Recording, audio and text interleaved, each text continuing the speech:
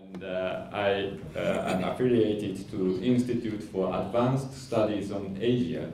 It's an uh, Asian Studies Institute at the University of Tokyo.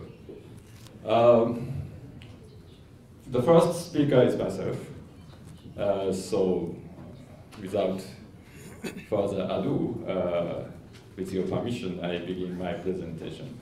Uh, I have changed the title of my presentation. Instead of Sayyid Sharifology 12 years later, uh, the title is Sayyid Sharifology, Personal and Collective Endeavors to Define a New Research Field.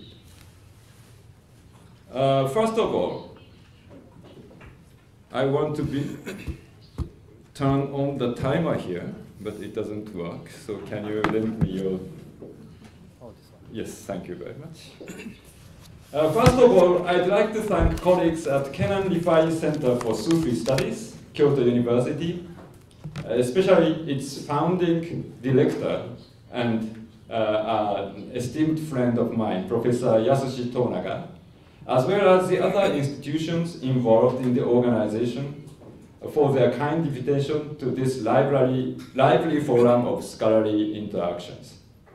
It's a great honor for me to talk to this audience with so many illustrious scholars from Turkey, the United States, China, and Japan, if all of you on the program are here.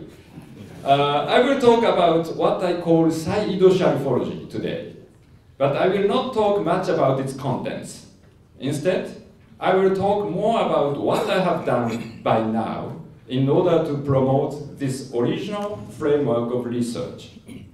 I understand that this conference is meant to mark the beginning of the full-scale research activities of Kenan Rifai Center for Sufi Studies. Since my endeavors to promote Sayyid Sharifology have always been supported by the colleagues who now gather at the Kenan Rifai Center as regular or adjunct members, I think it is useful that we review the history of Sayyid Sharifology together at this moment.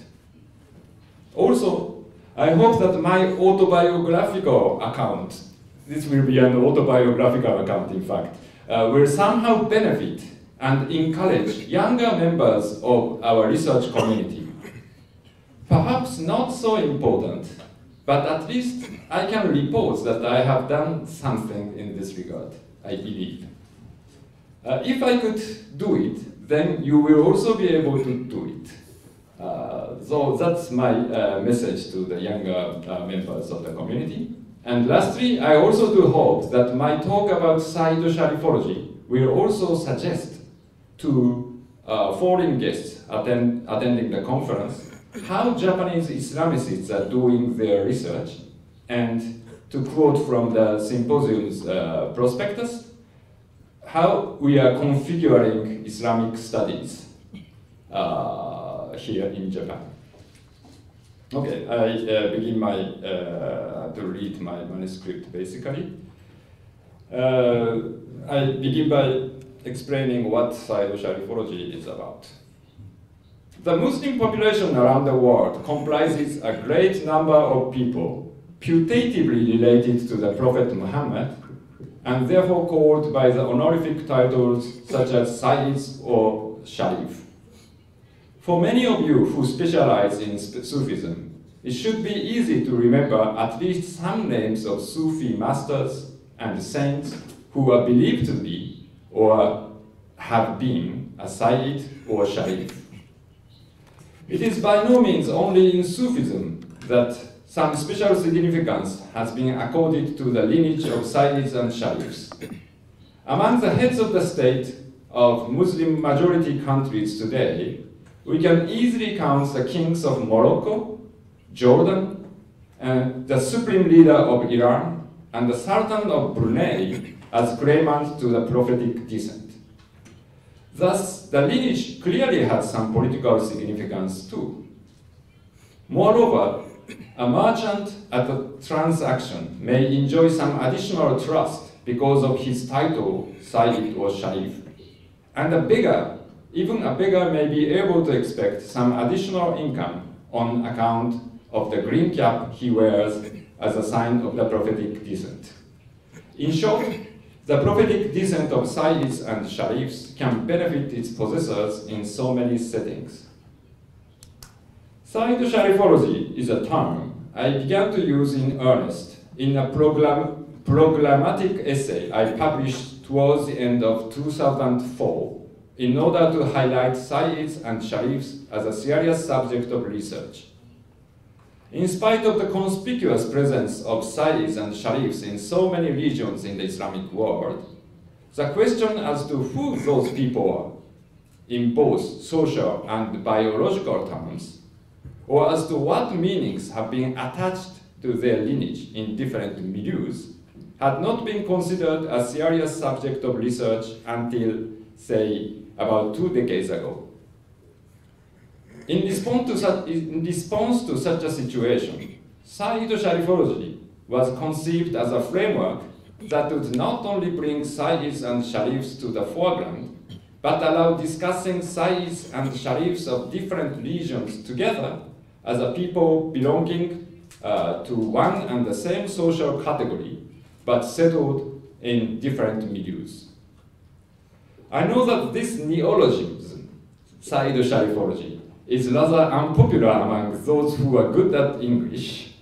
I didn't know that, that uh, it sounded so awkward. Uh, some proposing the simpler Sayyidology or Sharifology, others objecting to the idea itself of coining any new somethingology. But at least for the time being, I'd like to uh, go on with it. This is meant to be a research field that studies the kinfolk of the Prophet as a whole, whether they are called Sayyids in some regions or Sharifs in others. It is I who came to conceive the usefulness of the concept of Sayyid Sharifology and began to advocate it. But I have not been alone. The research group Professors Akahori and Tonaga have led for decades now in order to study saint veneration, Sufism, and Tariqa, and the complex formed by those three phenomena, recognize the relevance of Sayyid Sharifology to all its three thematic axes, and included it on its research agenda. In a sense, thus, Sayyid Sharifology can be recognized as a small area of research that represents original joint endeavors by part of the community of scholars working on Islam in Japan. It was when I was doing research for my senior thesis on notable politics in a local society in Khorasan from the 10th to the 12th century that I took interest in Sayyids and Sharifs for the first time.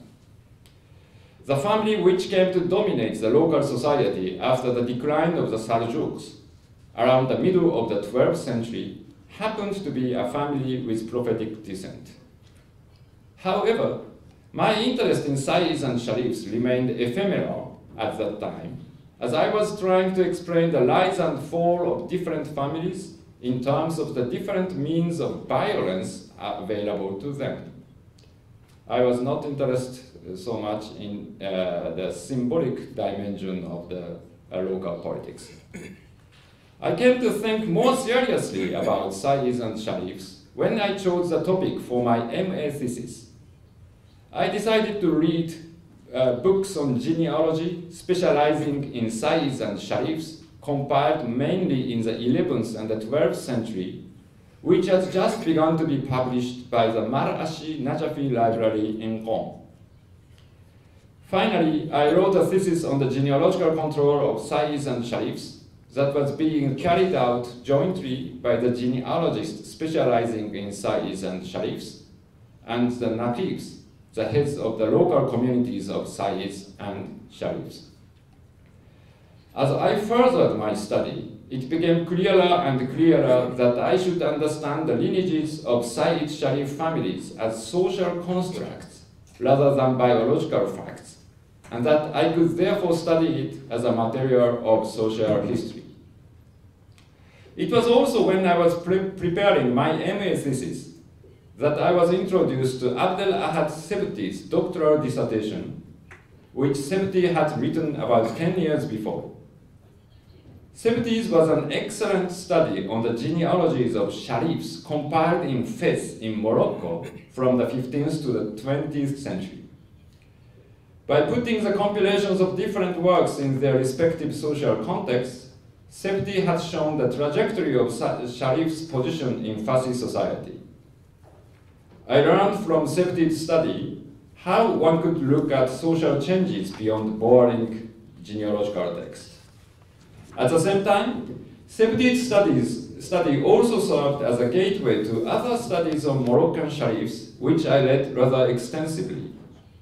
I therefore came to understand that as far as Morocco was concerned, there was a good accumulation of studies and even a common narrative regarding the historical development of the Sharif phenomenon, Sharifism called in French, in that country. I also found phenomena that I thought had a parallel in Iran, such as the Mahdist movements with profound uh, interrelation with the reverence for Sharifs or Sayyids around the 15th century. This happy experience of profiting from Moroccan studies in studying the Iranian case certainly made me, made me believe that no study, uh, excuse me, to study Sayyids and Sharifs, one has to look at the subject not only locally, but also in terms of the whole Islamic world. But it was not only I who was thinking that way. In Italy was a full-fledged professor who was thinking a similar thing. I was about 25 at that time, she was already a full-fledged professor. The next important event on my, on my journey with Sayyid Sharifology was my participation in the first ever international academic gathering on the subject of Sayyids and Sharifs. The international colloquium, The Role of the Sadat Ashraf in Muslim History and Civilization, held in Rome in March 1998 by Bianca Maria Scarcia Amoretti. This was a meeting that aimed exactly at gathering information and studies concerning Sayyids and Sharifs scattered all over the Islamic world. I was very happy to be able to participate uh, in that event, which for the first time presented Sayyids and Sharifs as a serious subject of research that should be studied through comparison among different local manifestations throughout the Islamic world. But the Rome conference was not perfect. As Scarcia Amoretti herself wrote in the proceedings that, quote unquote, we intended to offer debates and not certainties, information and not evaluations, its scope did not go beyond gathering information from different regions, regions of the Islamic world. As a result, many of the presentations made at the occasion were no more than mere portrayals of Sayyids and Sharifs from their respective regions of concern.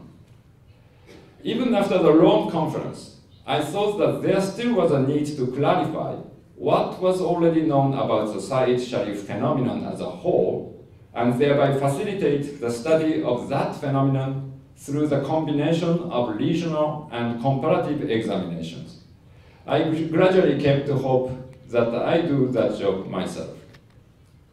First in 1999, I published Japanese, in Japanese a brief essay entitled Research Trends of Sayyid Sharifology, and a book chapter with the title Sayyids and Sharifs, the King kinsfolk of Muhammad and their pedigree. Then in 2004, a programmatic essay in English entitled Towards the Formation of Sayyid Sharifology was published. And that was followed immediately by the publication in 2005 of uh, its Japanese version. It must be noted here that the two programmatic essays were published in the publications of the research group led by Professors Akahori and Tonaga. The English version was published in a special issue of the Journal of Sophia Asian Studies, whose title was Towards New Perspectives on Studies on Sufis, Saints, and Sayyid Sharifs.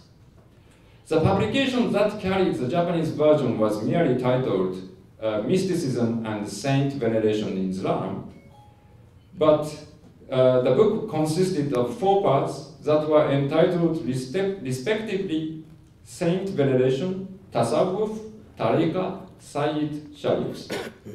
I was lucky that I had colleagues who showed me what I was trying to do really mattered then. The programmatic essays consisted of two main chapters. The first chapter was devoted to the state of the art. It showed that except for Uh, concerning Moroccan Sharifs and Hadrami Sayyids, there was a dearth of studies on Sayyids and Sharifs. Then the second chapter presented my proposal of some lines of inquiry for future studies. I of course highlighted the use and need of comparative method, pointed out some possible points of comparison, and then emphasized the need for studying different Muslim discourses on the prophetic lineage. From when I was writing the programmatic essays, I hoped that they would one day serve as the prospectus of a second conference on Sayyids and Sharifs after Rome, which I also hoped to host, hoped to host myself in Japan. That hope was realized in the International Conference on the Role and Position of Sayyids Sharifs in Muslim Societies, held in Tokyo in September 2009. The conference comprised 15 presentations, 4 by Japanese scholars and 11 by foreign scholars. In order to let the presenters know what I expected from the conference, I asked them, when I sent my invitations, to read my programmatic essays. I also proposed the following three thematic axes for the conference. A. Muslim discourses about the family of Muhammad or Sayyid Sharifs. B. Historical experiences and historiography of Sayyid Sharifs in different Muslim societies. And C. Anthropological and sociological approaches to Sayyid Sharifs today. This way, I could hold a second conference on Sayyid Sharifology about 11 years after the Rome conference. The proceedings of this conference came out in 2012 as a volume in the Islamic Area Studies series, published by Routledge. Again, thanks to the organizational link the Akahori Tonaga research group then had with the Islamic Area Studies project, a large granting aid research project that was published, uh, that was publishing the series. I think that the Tokyo conference was a big success. Importantly, no paper at the conference ended up with a mere portrayal of individuals or families that claimed the prophetic descent, but used concrete case studies to approach Sayyid, Sayyid Sharif phenomenon. The proceedings also includes three chapters that specifically discuss Muslim discourses concerning the station of Sayyids and Sharifs the like of which was missing in the Rome conference. The geographical and chronological coverage was also as wide as Rome conference, that is, from Al-Andalus to Indonesia and from the 7th to the 12th, uh, 21st century. All in all, I believe that the Tokyo conference showed a considerable measure of progress in terms mainly of how the subject is approached in comparison with the Rome conference. By the way, I was not totally idle during the period between the Tokyo conference in 2009 and the publication of the proceedings in 2012. Among other things, I published in 2010 a booklet entitled The Holy Family of Islam, the Kinfolk of the Prophet Muhammad in Japanese, to acquaint the general leadership in Japan with Sayyids and Sharifs. This was again made possible because of my affiliation to the Akahori Tonaga Research Group and the group's affiliation to the Islamic Area Studies Project. I also taught in March 2010 a five-day intensive course entitled Sayyids, Sharifs, the Kinsfolk of the Prophet in Muhammad, uh, Muslim Societies in Princeton. Further, I gave talks at different places uh, including one at George Mason University in Virginia, which my friend Professor Cemil Aydin kindly hosted. So, this was the outline of what I have done so far to promote research on Sayyids and Sharifs. with the help of the members of the Akahori Tonaga Research Group, many of whom are present in this room. Uh, many of you chaired or presented uh, papers at that conference and have uh, uh given me critical comments uh, throughout the course of my research. You may think that it was only about writing several articles, holding a small conference, and publishing an edited volume.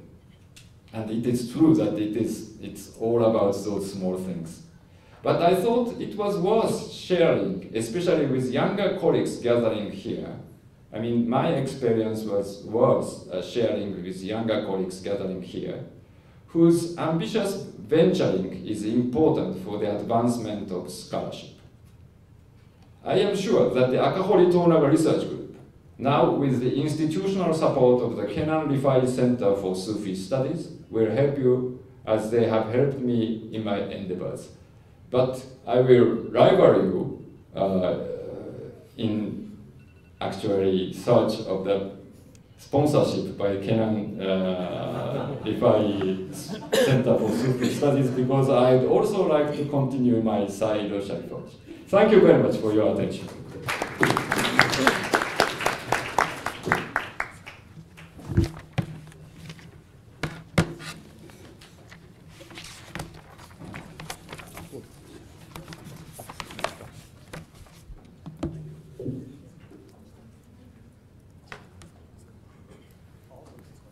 Okay, uh, so after this uh, first presentation, in Japanese called tsuyuharai, that means not trace blazer, but no, no, trail blazer, but you, you, know when in the morning uh, water dews are on the glass, the first person, the page of a road, will walk in front of the road to get rid of that water dews. My presentation I hope, served as uh, that Tsuyuharai for the second presentation uh, by Takahashi Kei, uh, who is affiliated to Sophia University and, uh, of course, is a member of uh, the Akahori Tonaga Research Group I uh, repeatedly referred to. the title of his presentation is uh, the institutional origin of the ulama Sufi dichotomy in modern Egypt. Please, Dr. Adachi, if you're ready.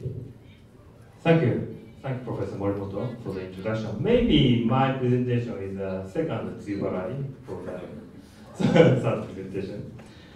Okay, so, so first, I would like to express my deepest gratitude to the organizer for this conference for inviting me to, you know, to, to read my paper at this conference. So it's my great pleasure for me to be here with you. So, um, okay. Oh, yeah. So, please allow me to read my paper.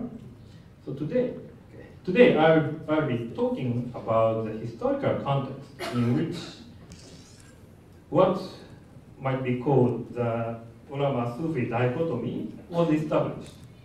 This Ulama-Sufi dichotomy, so it's namely the view contraposing the Islamic scholarly tradition and the Sufi tradition, and labeling the former as Orthodox Islam and the latter as heterodox.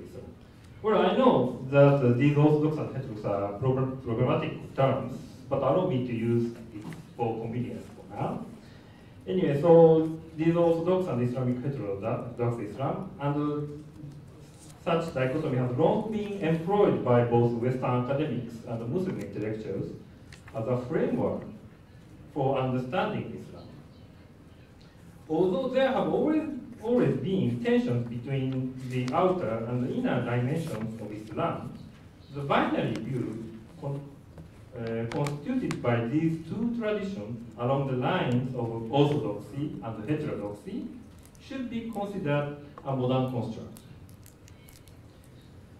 So the previous studies have already discussed that this framework has its roots in early Orientalist discourses on Islam and Sufism which con contrasted Sufism with mainstream Islamic beliefs and practices. Well, uh, it was discussed by Professor Ernst yesterday.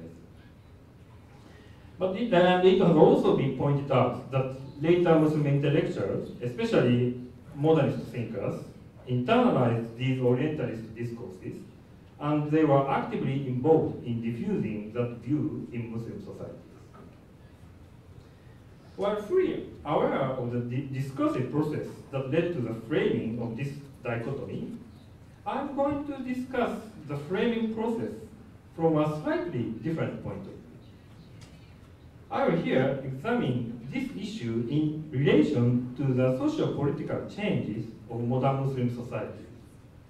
And this paper focuses on the specific, specific case of the Sufi tariqas in modern Egypt. So in Egypt, the newly established Mehmet government introduced a centralized control system over Egyptian tariqas in 1812. And since then, the Egyptian tariqas have been under the supervision of a unitary authority. The centralized control system consequently dissociated Sufi tariqas from the Islamic scholarly establishment, creating what where I call a distinct Sufi territory in the Egyptian religious landscape. My hypothesis is that the creation of this Sufi territory served as the institutional foundation for the framing of the ulama-Sufi dichotomy in contemporary Egyptian society. In this paper, I will illustrate how the Sufi territory was constructed by chronologically following the process of the institutionalization of Sufi tariqas throughout the 19th and the early 20th century. Okay, let's start. So first, let me briefly overview the status of the Sufis before the state control began. Well, generally speaking, Sufism was fully integrated in Ottoman Egyptian society as part of mainstream or orthodox, if I may say, Islamic tradition. It was quite common to see a person being at once an alim, Islamic scholar, and a Sufi. Abdul Rahman Jabarti, the best-known historian from this period, includes a number of biographies of ulama in his chronology. In these biographies, he describes that many students pursuing Islamic scholarship in Azhar, the most celebrated madrasa in Cairo, simultaneously received the Sufi training from their teachers and also heads of several Sufi families were among the religious notables in Ottoman Egyptian society, along with other high-ranking ulama such as Sheikh al-Azhar Azhar, the president of Azhar. One of the most celebrated Sufi families in Egypt was the Bakri family, and its hereditary head, Sheikh al-Bakri, was highly esteemed and possessed religious authority over other Sufis.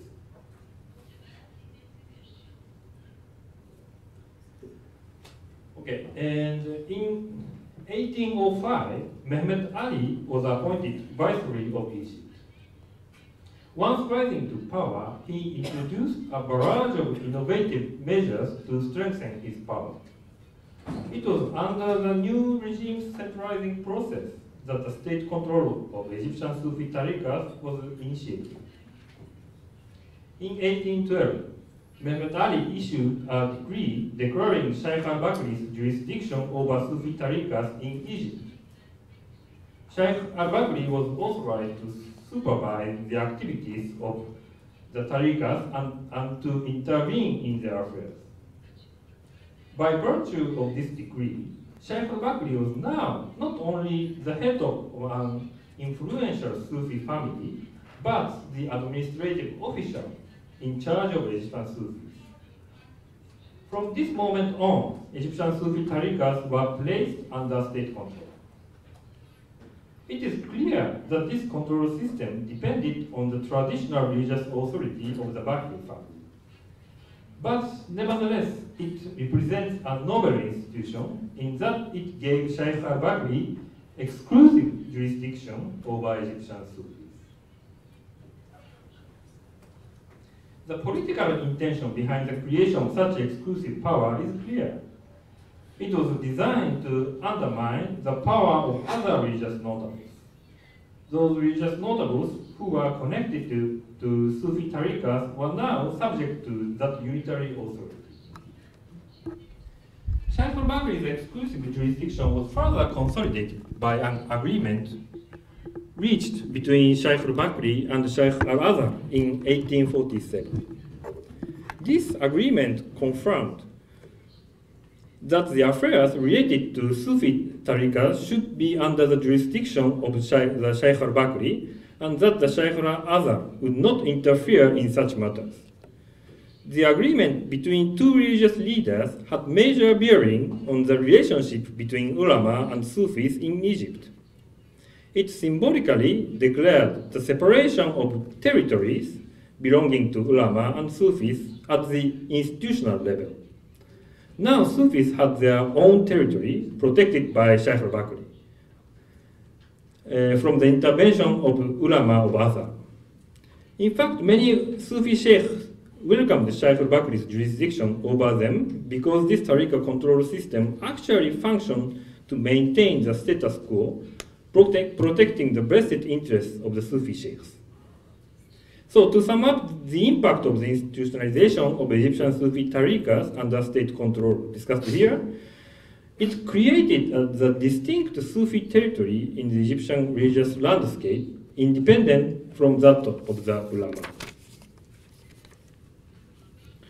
Okay, so the creation of distinct Sufi territories territory raises question concerning the territory of the ulama. So what about the ulama's territory? So I will now leave the tariqa and turn to Azhar. It is worth mentioning that reconfiguration of ulama territory was also taking place in Azhar during the 19th century. So relying on finding of, findings of previous studies, let me briefly outline what happened in Azhar. First, it must be noted that the subject the ulama were studying in Azhar during the Ottoman period were not limited to the narrowly defined, defined religious sciences. Students were learning other subjects such as mathematics, astronomy, philosophy, music, and even medicine. So Sufi literatures were also regularly being read and studied. Ulama in Ottoman Egypt were therefore not just experts on religious sciences, but in fact a people of, uh, of wide, wide-ranging education. By the end of the 19th century, however, Azhar was moving towards specialization in the religious sciences. Previous studies have identified several factors contributing to the specialization. First, the founding of technical schools by the new regime led to a drastic change in the educational settings surrounding Azhar. Since these new schools attracted students who hoped to learn non-religious subjects, the significance of studying such subjects in Azhar diminished.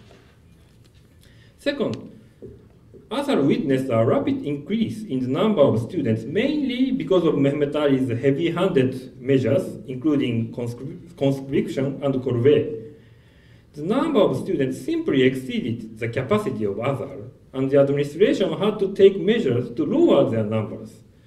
This eventually catalyzed the introduction of a graduation examination. In 1872, an examination system was introduced in Azhar for the first time in, in its long history. The, the examination determined Azhar's specialization in the religious sciences. 11 major fields of religious sciences were set as the subjects of the examination, establishing them as requirement for a person to be recognized as a qualified alim. Meanwhile, other subjects, including Sufism, were no longer relevant to the qualification of alim, or at least from the institutional point of view. So in a way, Azhar became technical school, specializing in specific specific religious sciences by the end of the 19th century.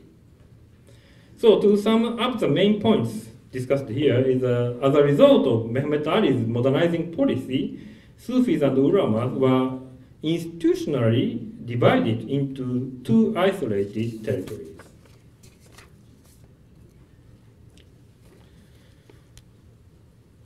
So, starting from the end of the 19th century, Egypt witnessed the rise of Islamic reformist movements. Under the leadership of modernist thinkers such as Muhammad Abduh and Rashid Reda, these movements advocated the reform of major religious institutions as represented by Azhar and Sufi tariqas. Reformers criticized both Azhar and the tariqas for their adherence to traditional customs, resisting any sort of changes from their medieval form, and suggested that as a result of this, they had become dysfunctional in contemporary society. And that is why they should be reformed. Their complaint about Sufis include the lack of scholarly understanding of Islam, association with popular beliefs, and peculiar doctrines and rituals not supported by Islamic law. As for Azhar, its, its very specialization in religious science, sciences was criticized as symbolizing the ulama's lack of interest in practical sciences. Although reformers regarded these defects attributed to Tariqas and Azhar as traditional characters inherited by generations of Sufis and ulama, like from medieval time, they were actually created or perhaps amplified by the institutionalization of Sufi tariqas and the reconfiguration of scholarship in Azhar, both of which took place in the 19th century. The dichotomy of two traditions were also taken by these modernist thinkers as given. Maybe such dichotomy was the reality of the end of the 19th century Egyptian religious landscape because by then the two traditions were in fact dissociated with each other at the institutional level. One of the major issues discussed in the reformist movement was the resolution of the ulama-Sufi dichotomy. In order to reconcile Islamic scholarly tradition and Sufi tradition, some reformers proposed the, the interesting argument that Sufis and ulamas were essentially identical. As an example, allow me to present the argument of Muhammad Zawahiri, a reformist alim who was later appointed Shaykh al-Azhar. According to Zawahiri, Sufism is defined as the practice of ilm, the Islamic scholarly knowledge. And based on this definition, he argues that if ulama are possessors of Islamic scholarly knowledge, then they must behave according to the knowledge. And furthermore, those who behave according to the knowledge or practice the knowledge, or literally translated those who uh, uh, translated the, those, pra those practitioners of the knowledge, these people are Sufis. The logical conclusion of this argument is that the knowledge of Sufis itself Islamic scholarly knowledge. Therefore, Sufism and Islamic scholarly knowledge are by definition identical. Pressed by these reformers, the Tariqa reform was conducted between 1895 and 1905 at the behest of Muhammad Tawfiq al-Bakri, the then Shaykh al-Bakri. Muhammad Tawfiq himself was a modernist thinker and a stalwart supporter of Islamic reform. His Tariqa reform was driven by the same basic theory as, uh, as that presented by Zawahiri. Muhammad Tawfiq defined Sufism as no other than the practice of the knowledge, ilm, based on Islamic law, and attempted to standardize Sufi doctrines and practices conform, conforming to the law. However, as a consequence, his historical reform did not receive favorable responses from other reformers. One reason relevant to the discussion in this paper is that, may, that many reformers did not accept the leadership Muhammad Tawfiq's reform was intended to standardize doctrine and practice of Sufi tariqas while maintaining his jurisdiction over tariqas and keeping the vested interests of individual Sufi sheikhs intact. For many reformers, however, such defensive stance of Sufi sheikhs was a real obstacle to reform. Not satisfied with Muhammad Tawfiq tariqah reform, a few more attempts at reforming Egyptian tariqahs were conducted in the early 20th century. These attempts were initiated by the reform-minded ulama of Azhar, who tried to reform tariqas by incorporating them under the supervision of Azhar. All these attempts failed, though, thanks to opposition from Sufi sheikhs. As it turned out, Sufis were successful in resisting the, the intervention from the ulama and in protecting their own territory. However, the failure of a series of tariqa reforms revealed that the very existence of distinct Sufi territory had prevented Sufis from claiming their orthodoxy.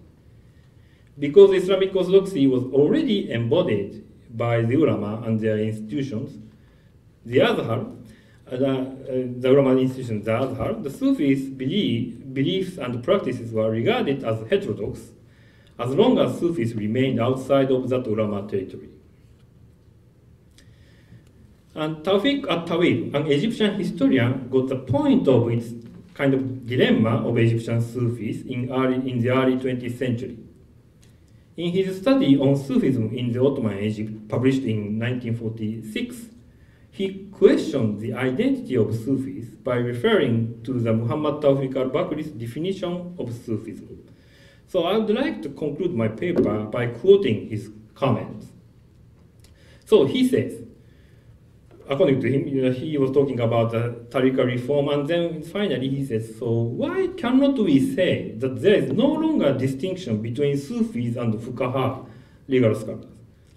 Didn't you, Yumi is a kind of Muhammad Tafiq, Tawfiq you know, didn't you say that Sufism was no other than the practice of the knowledge, ilm, based on Islamic law? And if that same definition does not apply to fuqahas, then what are they?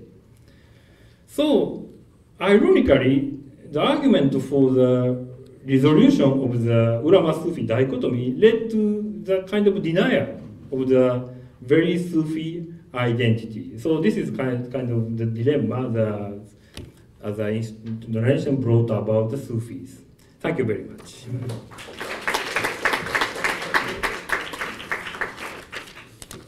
Thank you very much, Dr. Takahashi. So we are moving uh, to the third speaker of uh, this session, who is Professor Ninomiya Ayako from uh, Aoyama Gakuin University. Aoyama Gakuin is a private university in central Tokyo which has a very strong tradition in Asian studies. Uh, especially in South Asian studies, and she is now uh, incumbent uh, teaching professor, I mean, professor uh, at that university doing Indian medieval history. And the title of her paper today is Concepts of Affiliation and Membership of Tariqa, uh, Medieval India's Case. Please. Thank you very much for the introduction, uh, Professor Morimoto, and uh, thank you very much for giving me to the, make a presentation in this precious occasion. Okay. And uh, I stopped the humble way of Japanese expression, and I dare to say there's nothing to do with the the order of presentation uh, between the hierarchical of uh, the relationship uh, of the, these uh, the contents. Anyway, uh, I prepared the handout I asked, and so it may help understanding. It should be in the back side of the room. So if you want some, then please collect. I will modify and skip some of them, but I may read the handout. Uh, this presentation allies a concept of master-disciple relationships seen in Sufi liter literature in medieval India and tries to contextualize the concept uh, and uh, development into the history of Sufism. And uh, I explain why the master-disciple relationship is important uh, because the, the social function of Sufi tariqa is one, one, one of the important one is to formalize and establish new relationship, social relationship, and then differentiate them and uh, form the organization uh, based on the relationship. And uh, the method and the theory uh, to do this uh, they have.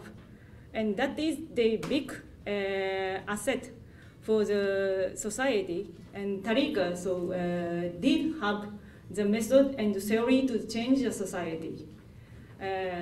This is especially important for the, the my field, the medieval India, uh, which the so-called Islamization of South Asia uh, occurred.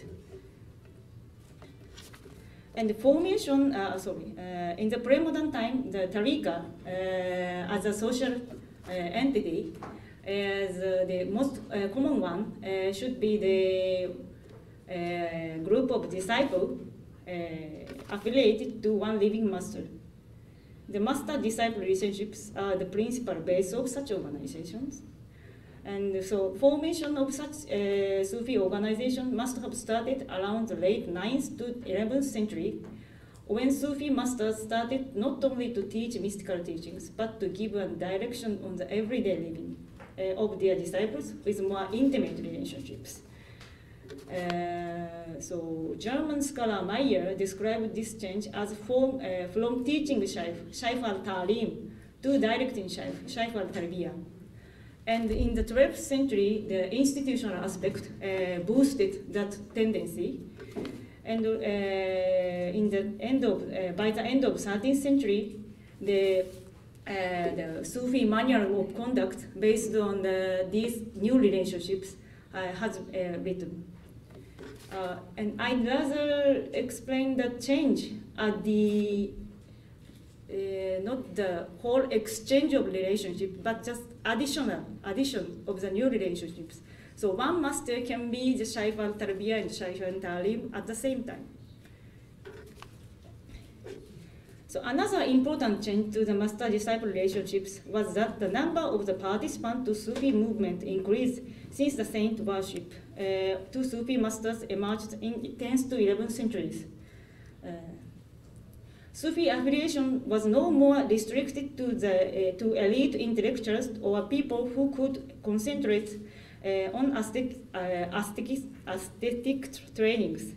Uh, Nizamuddin Aulia, the most famous Chishti Sufi in medieval India, was surely aware, aware of the situation. And I quoted uh, the, from Siyar al-Auliya, uh, I skip it. And, uh, but in that quotation, Nizamuddin uh, considers that the number of murids increased uh, from 11th century onward. Uh, from the time of Abu Sa'id Abu'l-Khayr or Shahabuddin Suhrawardi, and differentiate these murid, the, uh, the murid, in two types. Those who come to receive mystical trainings and achieve the union with the God, namely Has, and those who come to receive protection of Sufis hoping to enter the paradise, namely Am. Nizamuddin knows that Has sweet for the Sufi affiliate, but uh, doesn't deny Bayah for Am and let them to his murid to be his murid uh, following the former Sufi, great Sufi masters. So it means that he was consciously not selective in accepting murid. He also must have known it is difficult to maintain a single common moral standards among his affiliates. Thus, he had to put a substantial effort to adjust the way of guidance and trainings for each of them, just like present uh, the university teachers as Professor Morris told in the uh, first uh, session. And uh, in this context, the medieval India is very interesting field because the Muslim society in medieval India itself was in the, still in the forming period. Uh, most of them immigrated uh, from the Central Asia or Iran in the, uh, the, after the Mongol invasion. So the social relationships are largely uh, fluent, uh, were uh, more or less fluent. And in that fluent society, Sufis tried to establish their the social status using the, their the tools and method to establish the master-disciple relationships. Huh.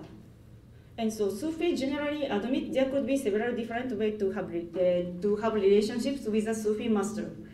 And uh, I skipped some part of, and uh, And it seems that Sufis distinguish the master-disciple relationships uh, based on two sets of criteria.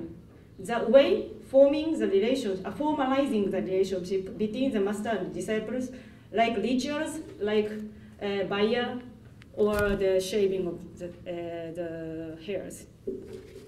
Or the way uh, the master guide disciples.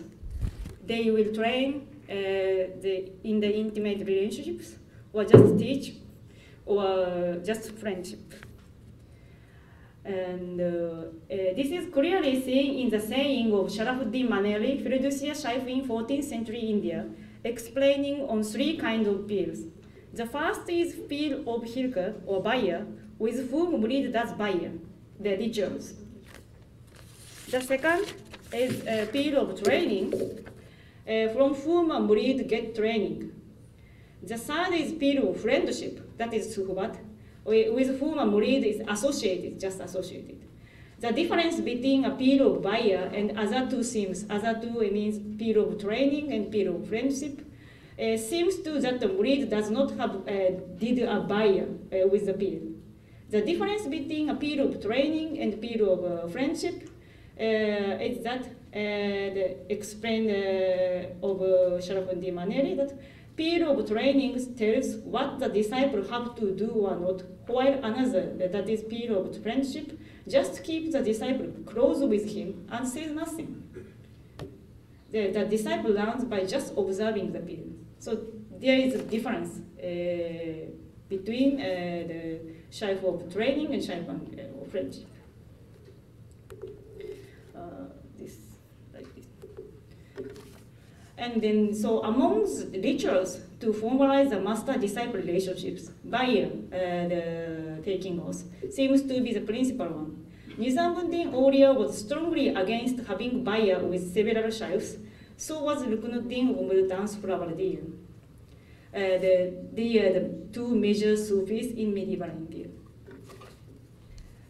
Uh, however, it seems that people who ask bayah with many masters never disappear. Thus, many shaykhs keep stress, uh, stressing this prohi prohibition. Nizamuddin Aulia uh, reflected this rule, uh, no bayah to, with two pirs, in the term, terminology on disciples. Nizamuddin Aulia, uh, so I quoted Fawaid al-Fuad, another saying of uh, the Nizamuddin, but I, I will skip it. And uh, from this quotation, Nizamuddin Aulia uh, used the term murid very strictly, in which two relationships are mentioned. Uh, one is between, I'm, I'm sorry, maybe. Uh, one is between Shaykh Jalaluddin Tabrizi and uh, Shaykh Shihabuddin Suhrawardi. Another is the Shaykh uh, with Shaykh, between Shaykh Jalaluddin Tabrizi and Shaykh Bu Said Tabrizi. Uh, the name is confusing. Anyway, in one relationship, Shaykh Jalaluddin Tabrizi was murid, and in another uh, was not murid. And that difference uh, was based on whether he did a bayah with the pir or not.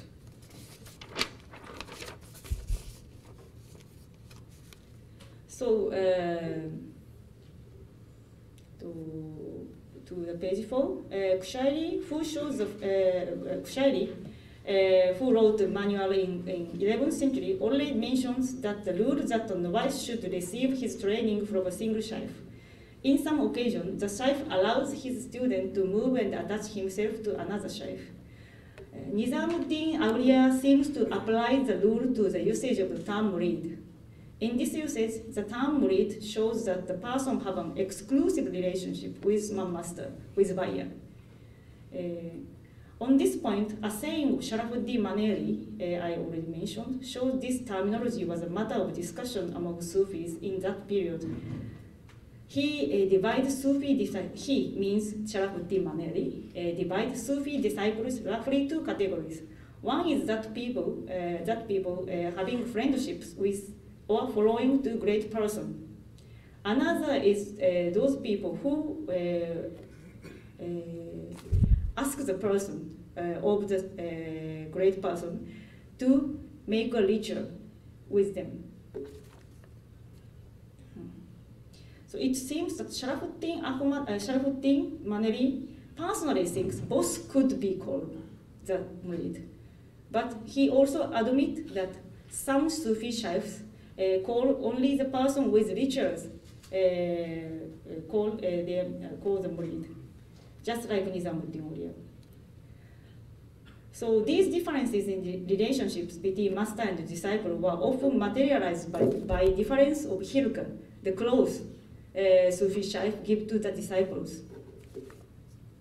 Uh, based on Awarif al Ma'arif, Schimmel said there are two kinds of hilka, and uh, the former researches I will skip. So in 14th century India, Nizamuddin Auliya shows one of the most comprehensive and systematic classification of different kind of hilkas. Uh, in Shamail Radokir, uh, another work uh, of Nizamuddin Auliya, based on Nizamuddin Auliya's sayings, I quote it, but I will skip. Uh,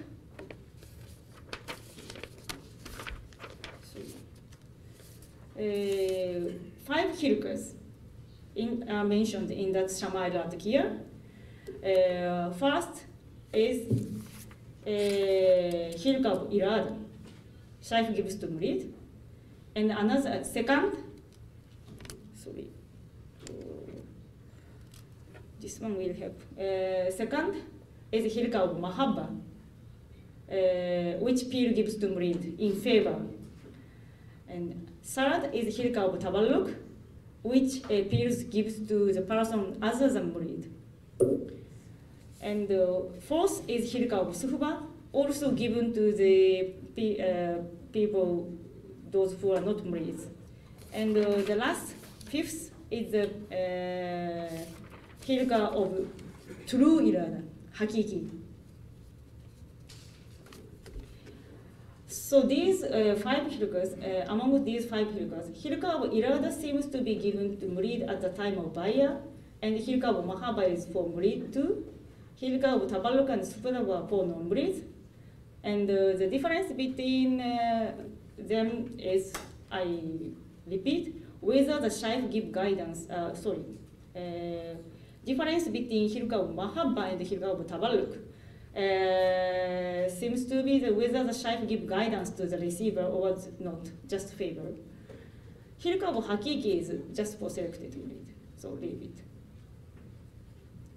So, taken together with the Nizamuddin Auliya's usage of the term murid, the differences between whether he has a bayah or not, uh, we can see that element which makes the difference uh, and uh, difference are consistent with the criteria to distinguish the master-disciple relationships.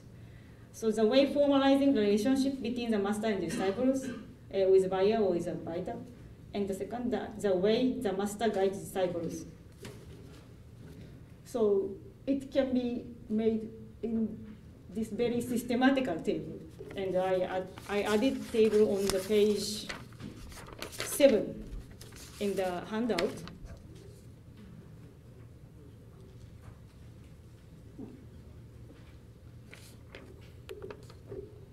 Okay. So, and these various hilkas are uh, distributed according to Shaykh decision at the time of bayah and later. And in other sayings, Nizamuddin explains how he had distributed the hilkas of the people. I skip the quotation anyway. So Nizamuddin Auliya said, uh, people to whom he have hilka of irada were very rare. So, and there was an alternative for the hilka of irada, that is hilka of tawba and taballuk. So this distribution of hilka seems to be consistent with Haas arm classification of murid quoted in the beginning. So in sum, from these classification of disciples, and whether they did bayah with the master or not, and what they received from the shaykh, we can make the systematical table and uh, the figure uh, to distinguish master-disciple relationships. One is this table, and another is this figure. Uh, there are four kinds of murids, Has with, uh, with bayah, uh, has with, arm with bayah, house without bayah, arm without bayah. This uh, the does not mean anything. Just the making figure. I, I put this like this. And house with bayah receive hilka of irada, mahabba, or true irada, maybe. And they receive mystical trainings. And arm with bayah receive hilka of irada and mahabba. And they receive favor. And house without bayah will receive hilka of suba and mystical training. And arm without bayah will receive hilka of tabarruk and favor.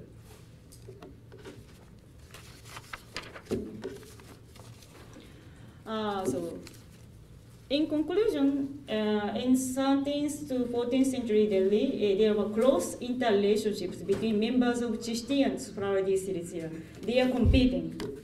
Uh, Kiwamura guide, uh, the Malfuzat, uh, written in Deccan, uh, contains a chapter on ulama and shaykhs who had a friendly relationship with Nizamuddin Aulia uh, of Chishti, in which 9 out of 13 persons were married or had a relationship with Multans Flavadia, different here.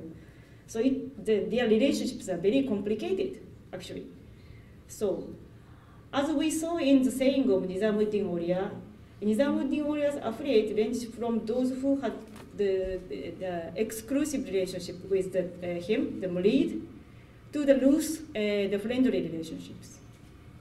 So uh, the, I can say that tactics of Nizamuddin Aulia is to keep the core member of his uh, tariqa, his group, uh, as a murid, who has the exclusive relationships, and at the same time uh, to let them have the the uh, interaction with uh, the other Sufi by other kind of relationships. So membership controls are strict, at the same time loose. And, and it is materialized at Hilka. So the, they, they uh, Nizamuddin says only Shaykh knows what the Hilka, what, which kind of Hilka was given. Anyway, the disciples surely had known which kind of relationship they have. Or it was, let's say, it was demanded to, to know. Anyway, so it, it shows that Nizamuddin Aulia was very conscious about the managing his organization, and he was very good organizer on, on that aspect. And the, the way he explains is also very systematic. So uh, it, this, the uh, skill of Nizamuddin Aulia as an able organizer surely have uh, contributed to his success as a great Sufi Shaykh, and also his uh, tariqa he belonged, the Chishtiya. Uh, sorry for the confusing. Anyway, it's end. Thank you. Thank you for that.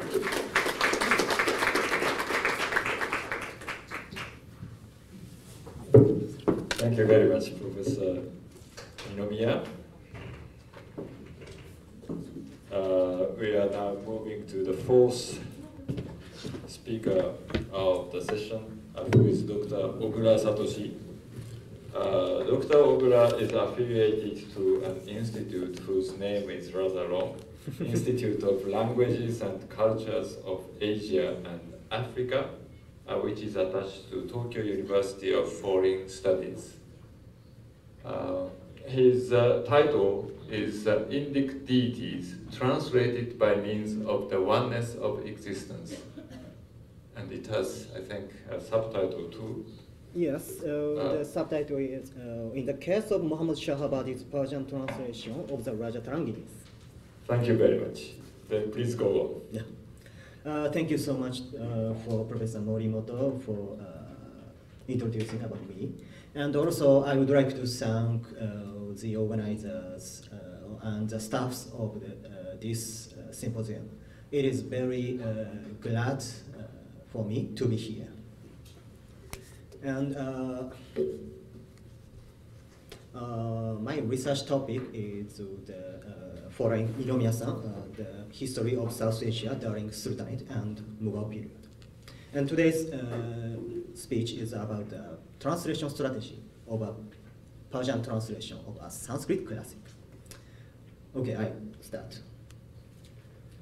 In South Asia, the formative 14th to 18th centuries witnessed that Sanskrit and Persian coexisted as the languages of cultural activities, and that intellectuals and poets of the period performed hundreds of Persian translations and adaptations of Sanskrit texts by which Sanskrit knowledge systems, philosophies, and stories became known in Persian-speaking Muslim society and influenced on the making of a distinct realm of the Persianate culture on the subcontinent.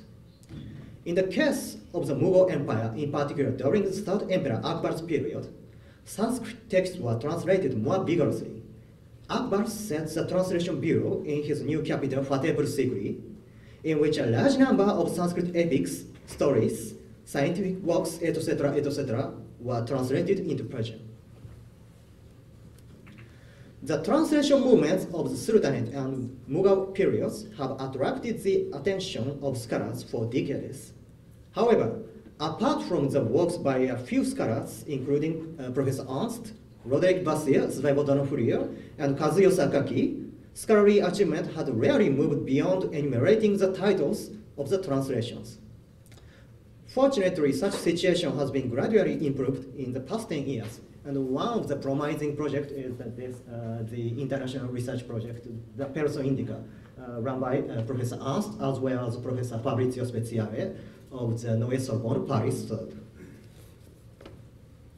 Studies in Indo-Persian translation text, as notices, have potential for development of sophisticated approach to the inner cultural activities in South Asia that can avoid essentialism, reductionism to the assumed ideal types of Islam or Hinduism, and the problematic concept of syncretism because this approach rather focuses on the activities and creativities of translators than static end results or dehistoricized entities.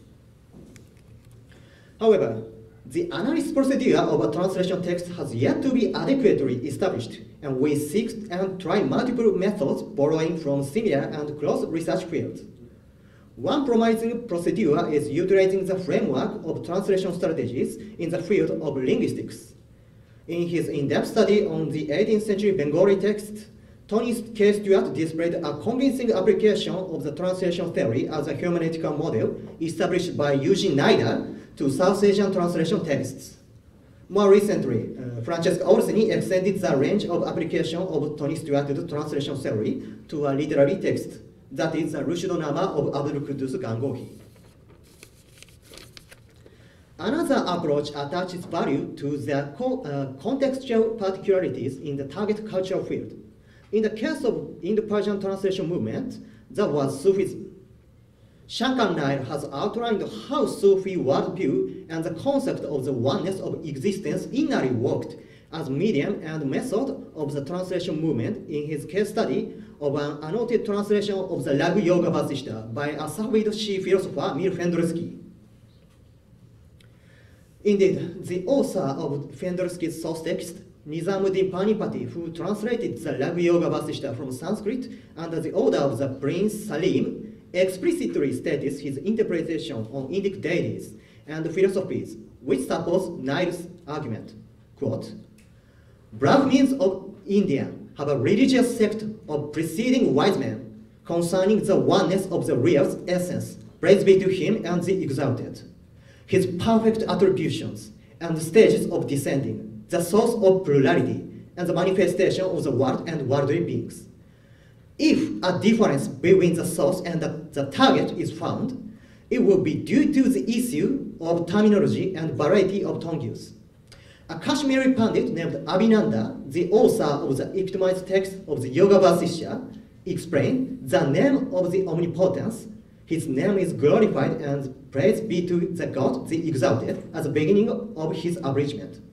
Know that the names of the real, the exalted, do not have limit and direct conscription, and each one of Hindu rishis and followers of the way to the real choose one of his names, which are counted as avatars or the stages of his self-disclosures. Original word is tajalliyat, and they matter the name.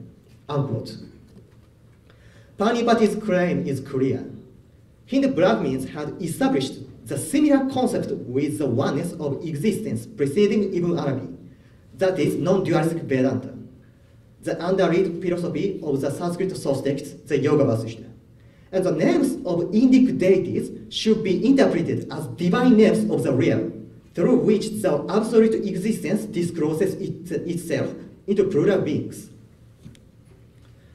Uh, likewise, uh, as Professor Ernst has made clear, in a treatise of Vedanta philosophy, uh, the Shariq al-Ma'rifa was illuminator of Gnosis. The possible author, uh, Abul interprets the Lord Krishna as the essence of God and the manifestation of divinity whose definition cannot be described. These accounts affirm that such tendency of interpretation was shared among the Muslim translators in the period to a certain extent.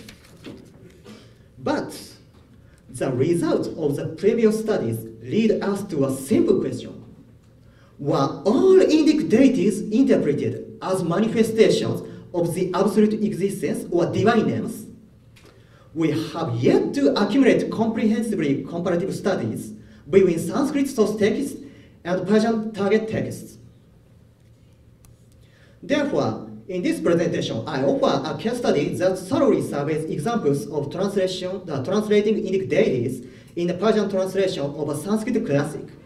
The text I take up today is the Persian translation of the Raja Taranginis, a series of Sanskrit chronicles of Kashmir written in the style of kavya or poetry, composed by Kalhana and other Kashmiri Pandits.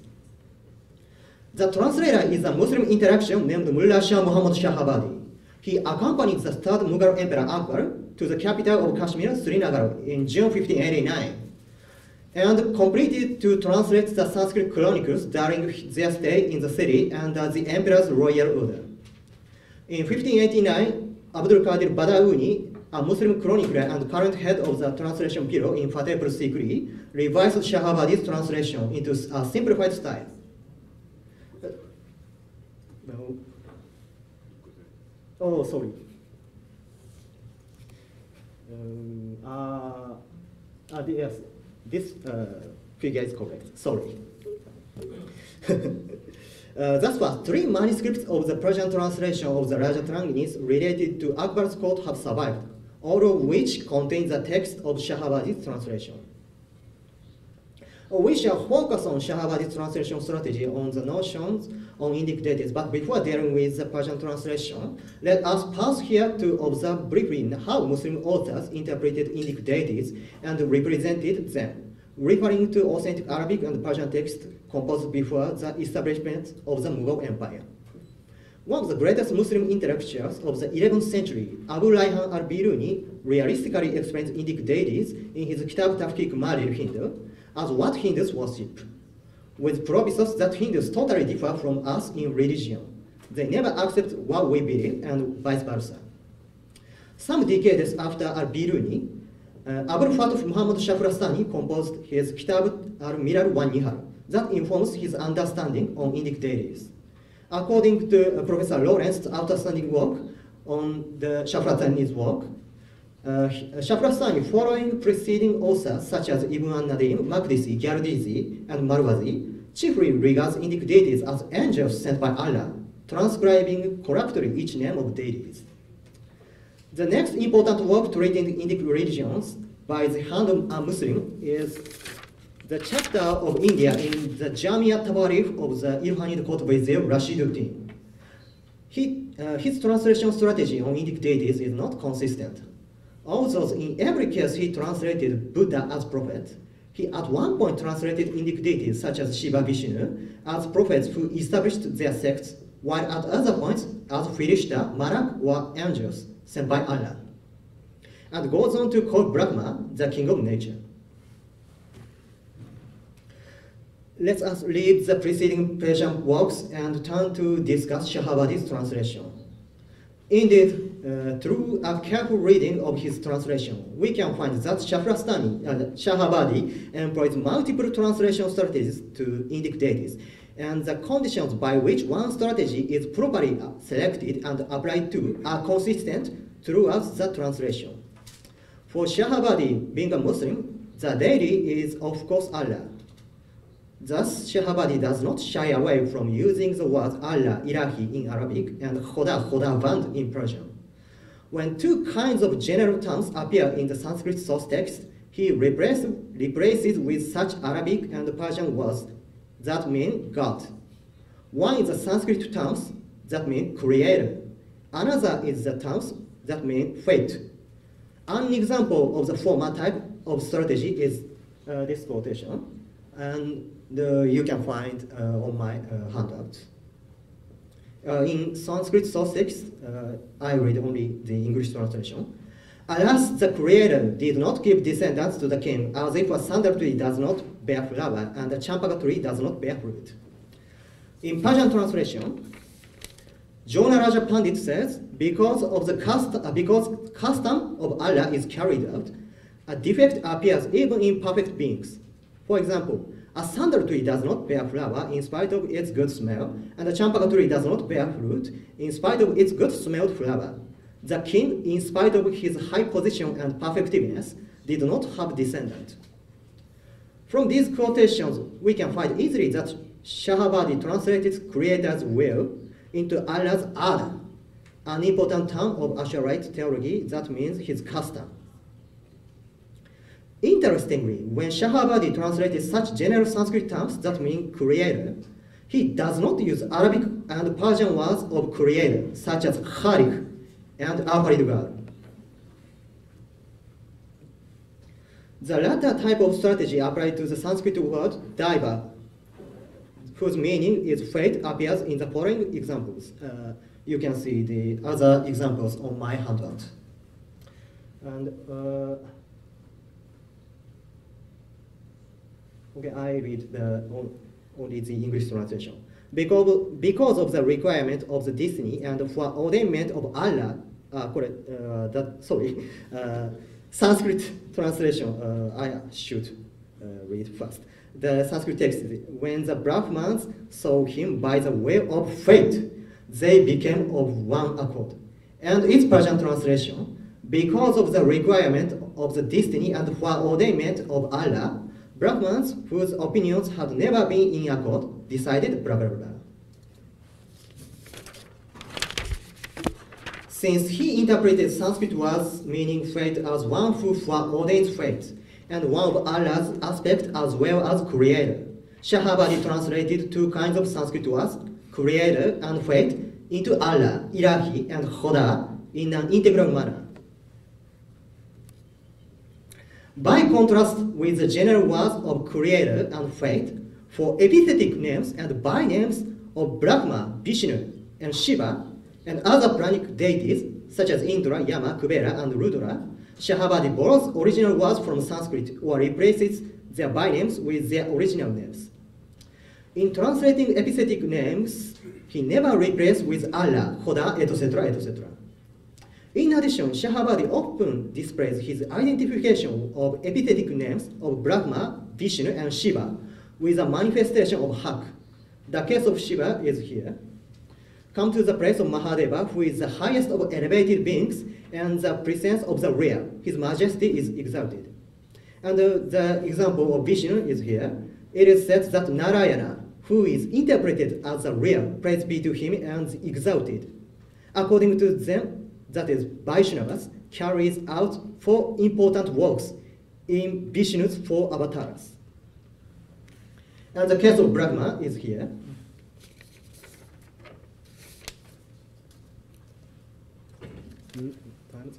Ah, sorry, I skipped this case.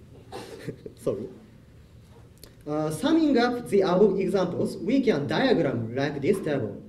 The general Sanskrit terms meaning creator and fate are translated into Allah, while epithetic names of Brahma, Vishnu, and Shiva are interpreted as Hak.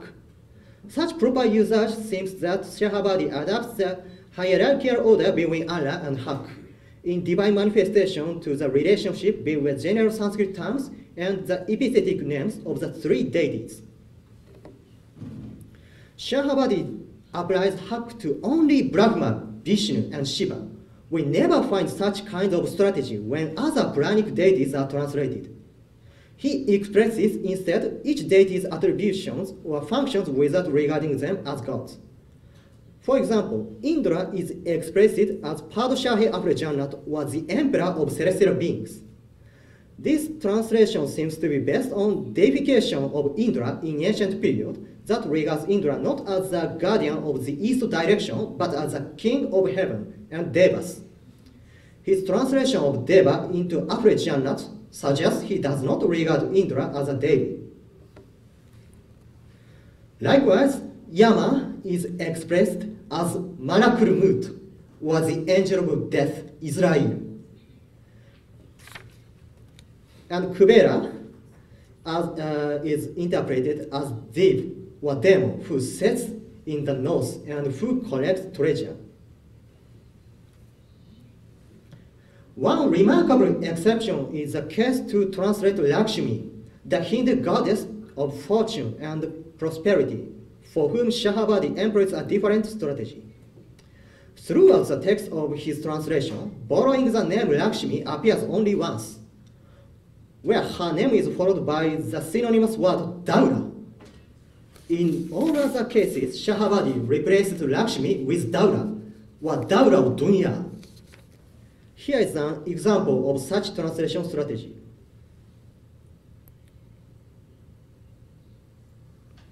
Uh, in Sanskrit text, as he was marching to Barahamura, he captured a host of auspicious marks which had come from the enemy's force and which seemed to represent the royal fortune, Lakshmi.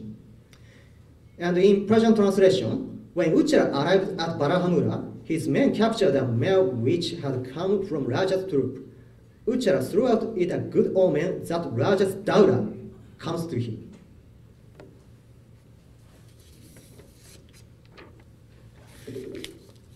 In Sanskrit epics and poems, a king is frequently depicted as a husband of a female deity.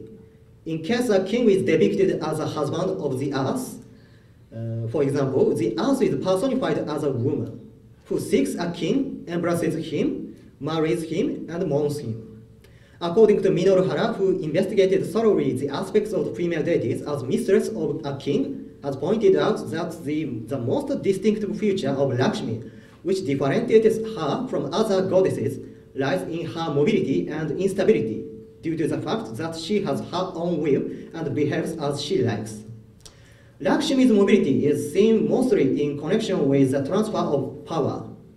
Thus, when Lakshmi moves from one person to another person as she likes, the power which legitimates one's domination also moves accompanied with her from one person to another person.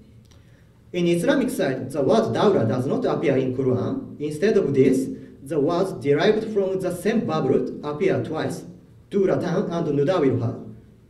According to Franz Rosenthal, the word dawra, which initially means to move aimlessly, to turn, and to alternate, came to mean rule and dynasty during the early, early Abbasid Caliphate. This semantic development of the word is presumably based on the idea that one's sovereignty and cycles of political power uh, depend on celestial fortune. However, as is well known, this word has kept its original meaning of uh, transitory fortune, which moves from one person to another.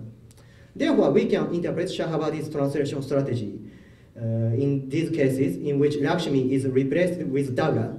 It's based on the equivalence between these two words, both of which mean transitory fortune, giving power to one person. For the juxtaposition, uh, juxtaposition of Daga and Dunya as being equivalent to Lakshmi in the translation, it is likely that another equivalence lies between Lakshmi and Dunya in terms of their character of betrayal. From Sanskrit side, Lakshmi is characterized as a weak goddess who abandons a man whom she got close when he loses power. From Islamic side, on the other hand, theologians and poets frequently use the metaphor to compare this world, dunya, with this royal woman in order to claim to get rid of the attachment to this world and devote oneself to the next world. In this case, uh, Shahabadi translated Lakshmi into two words that reflect her function and character. One is mobile royal fortune, and another is her frequency. Uh, sorry, I have to skip the case of Buddha, uh, although this is uh, very interesting. Uh, I hope to find another opportunity to uh, speak about this in more detail.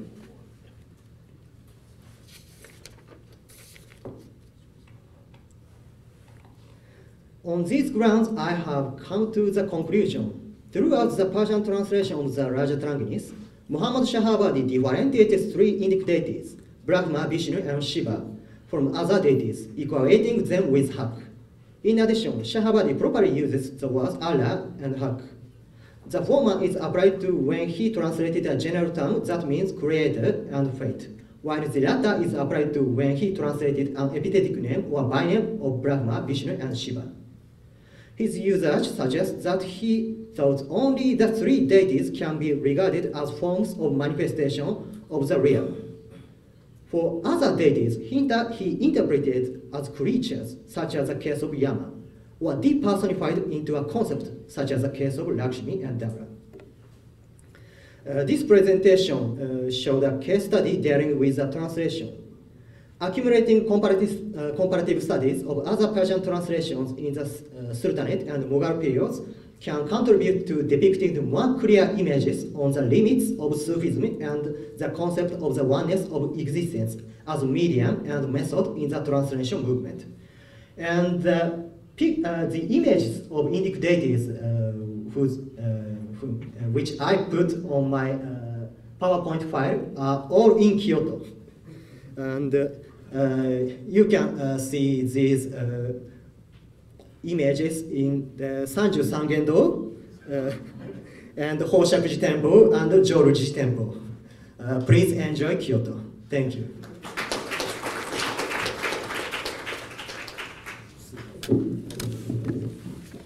Uh, before you go out town to see those statues, there is Q&A time.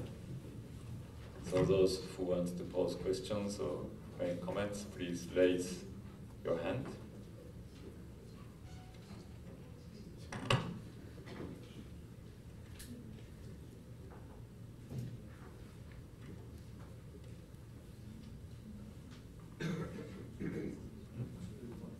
Oh, you want, oh, yeah, okay, please. Over there. Thank you. Uh, well, this is not a question, just only I would like to uh, add uh, some information from Ottoman uh, and Sheikhs position uh, in the Ottoman land. You know, Ottomans were paying much appreciation and respect towards to Ahl Bayt. Uh, for example, if anybody could prove that uh, his genealogy of carrying this noble blood, uh, he will be exempted from the military service and uh, of taxes, also exempted from taxes. Of course, because of this kind of advantages, uh, some evil-intended people uh, will always attempt to misclaim that they were saints. Uh, in order to solve this problem and keep the records of those who are true, those true saints of Ottoman lands, uh, Ottomans officially established a governmental body, uh, or let's say a ministry, uh, called Nakib al-Ashraf. So uh, the head of this ministry was himself as a Sayyid. Uh, Nakib al-Ashraf himself was a Sayyid and was a representative uh, of all Sayyids and was taking care of their welfare all over the empire. And in the morning, uh, special uh, occasion, in the morning of first day of crowning the Sultan, uh, uh, the first day of his sultanate, new sultan must be consecrated by this Nakib al-Ashraf by giving him a sword on in Ayub Sultan in Istanbul. So uh, I would like to uh, add this information to your studies. Thank you and very much. secondly, uh, there's one information uh, in Seyits in Turkey, they recently established a foundation, Foundation of Seyits, and they are organizing each year a yearly meetings of Seyits. For your information, thank, Thank you very much. Yeah, actually, uh, I invited Professor Rüya Kılıç, if you know her, uh, who is a specialist From on Korea. yeah, yeah, Korea, yes. uh, University uh, to the conference, and she is uh, the contributor uh, to the volume I mentioned. So the Ottoman, of course, presence is there in Sharifology. And thirdly, maybe lastly, you were looking for some sports somewhere. The uh, head of this foundation of Seyits in Turkey is a very rich uh, businessman in Turkey, so you can get in touch with them. Oh yeah, that's very interesting. There are yes similar uh, organizations in Arab countries too, and uh, one which is rather active in Saudi Arabia is also headed by a rich businessman. It seems. Uh, thank you very much. Uh, we still have time, and I can accept one question or comment. So if somebody came up with anything, yes.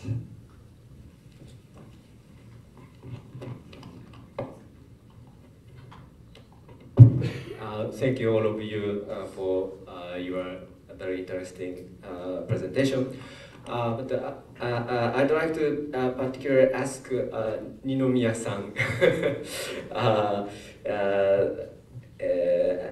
I'd like to ask um, mm, Niz- Nizamuddin Aulia's intention behind his strategy to reform re- master-disciple relationship.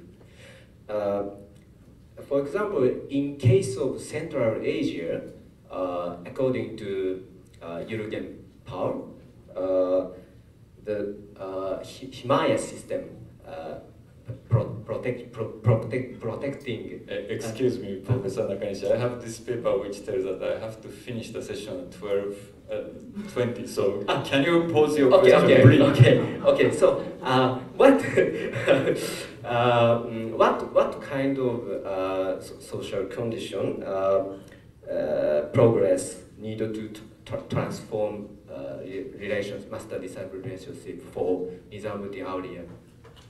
Uh, uh, thank you very much for the question, and uh, I still don't have the, the how do you say final and solid answer for it. But I guess that the first of all, I have to say Nizamuddin didn't do, the, do any kind of reform. I think just he form the systematized something uh, exists to the more the uh, comprehensive way and uh, he had to do it because uh, I, I guess uh, the he was competing with uh, Suhrawardi uh.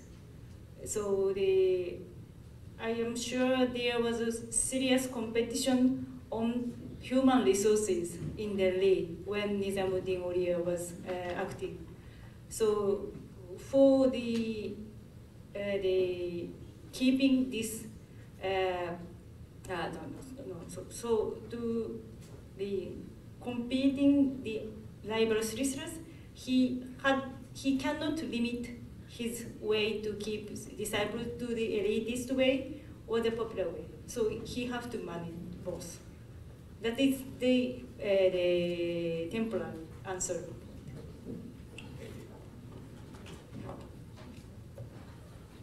Okay. Uh, now I'd like to close this session. Uh, I thank all the presenters uh, and the audience for the participation. Uh, I think it's lunchtime now. So after applause, lunch, please. Thank you very much, professors.